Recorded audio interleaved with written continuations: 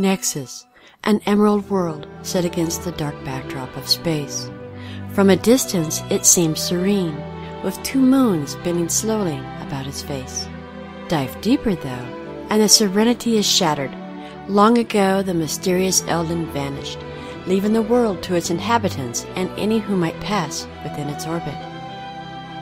They molded the world, shaping its landmasses and engineering its races, creating creatures both divine and terrible.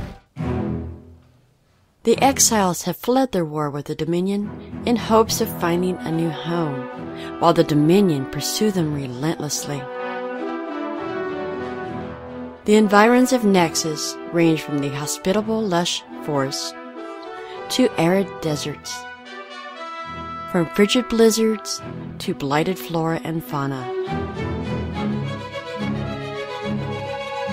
Some denizens can be categorized as mere annoyances, but others should be paid their due. Metal monstrosities shatter bone and steel with their fist and beam weapons.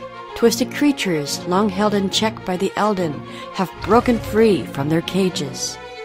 The exiles and Dominion may well believe that they have tamed this land. They may believe that the Eldan artifacts buried in the deserted labs and bunkers are theirs for the taking. Woe unto them, however, for darker forces are at work here. These forces care not for their petty dispute and seek only to devour all in their path, to corrupt and twist them into horrible monstrosities. The strain may make an end of it all.